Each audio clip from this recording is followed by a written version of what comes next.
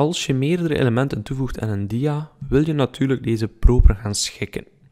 Om dit te gaan doen, ga je zien dat PowerPoint jou gaat helpen met behulp van hulplijnen. Die hulplijnen gaan eigenlijk de uitlijn ten opzichte van andere objecten op de dia gaan tonen. In dit geval bijvoorbeeld zie ik dat de bovenkant van de trein gelijk op met de bovenkant van de kaart.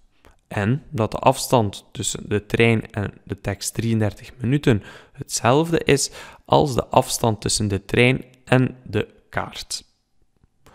Dit zijn zeker al uh, lijnen die handig zijn, uh, maar ik zou nu graag deze drie figuren op dezelfde verticale as gaan plaatsen.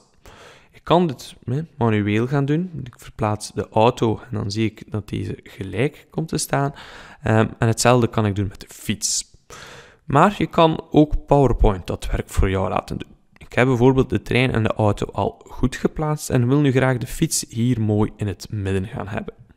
Wat doe ik? Ik druk de Ctrl-toets in en selecteer vervolgens alle objecten die ik wil gaan uitlijnen ten opzichte van elkaar.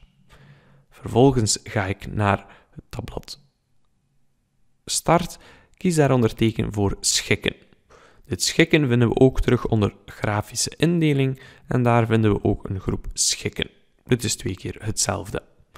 Vervolgens ga ik naar uitlijnen en daar kan ik gaan kiezen hoe dat de figuren ten opzichte van elkaar moeten uitgelijnd worden. Ik ga kiezen voor links uitlijnen. Wat betekent dit? Hij gaat eigenlijk gaan kijken van alle objecten die je geselecteerd hebt, het welke staat aan de meest linkse kant. In dit geval zal dit de trein en de auto zijn.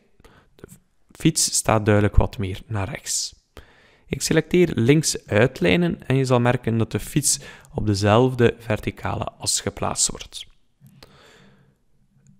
De fiets staat nu wel iets dichter bij de trein dan bij de auto.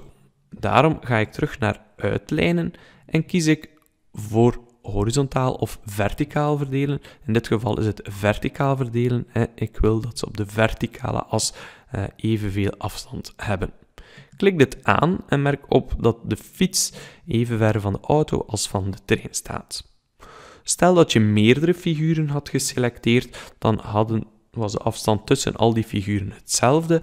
De bovenste en de onderste figuur die zullen altijd blijven staan en dit zullen de referentiepunten zijn voor de andere figuren. Op deze manier kan je dus objecten heel eenvoudig gaan uitlijnen.